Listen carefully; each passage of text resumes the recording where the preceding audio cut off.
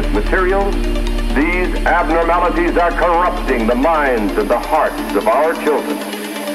Perversion for profit.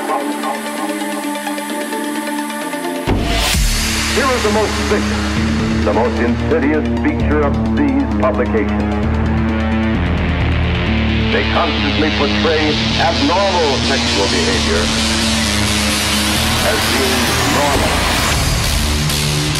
They glorify unnatural sex acts. They tell youngsters that it's fun, it's thrilling, it provides kicks to be a homosexual, a sadist, and every other kind of beast.